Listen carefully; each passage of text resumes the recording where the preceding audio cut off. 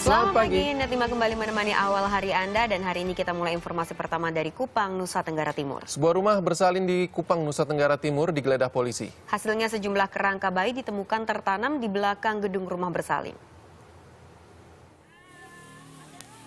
Ratusan warga Jalan Amabi Kelurahan Pasir Panjang dikejutkan dengan kedatangan polisi di sebuah rumah bersalin yang dikelola seorang bidan senior, Dewi Bahren.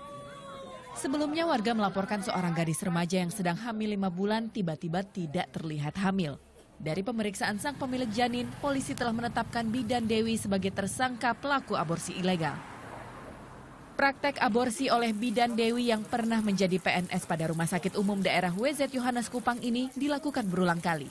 Hasil keterangan dari sejumlah saksi terungkap, sang bidan menguburkan bayi hasil aborsinya di belakang tempat prakteknya dibantu Ramli penjaga malam yang masih ada hubungan keluarga.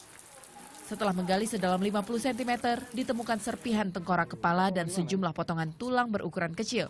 Temuan ini langsung dikumpulkan, setelah dihitung jumlahnya mencapai belasan potong tulang. Dari hasil pemeriksaan sementara, dua jasad bayi berhasil ditemukan di belakang rumah bersalin Bidan Dewi. Bidan Dewi menerima bayaran sebesar 10 juta rupiah untuk sekali aborsi. Untuk sementara baru satu, tapi ini ada janin lagi satu. Apakah ini hasil aborsi atau mati di dalam kita belum tahu, belum pengembangan. Tapi dari keterangan saksi bahwa ada dua yang dikubur di sini janin.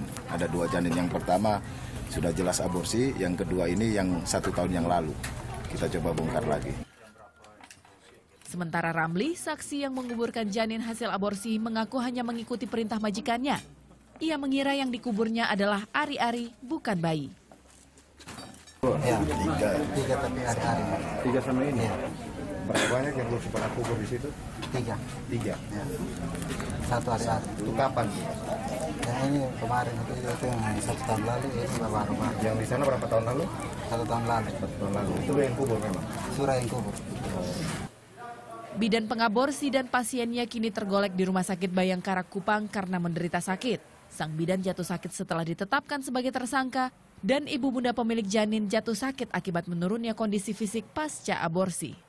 Kepolisian hingga kini masih terus mencari sejumlah alat bukti dan saksi untuk membongkar praktek aborsi yang diduga sudah dipraktekkan sang bidan selama bertahun-tahun. Yuvenitano melaporkan untuk NET.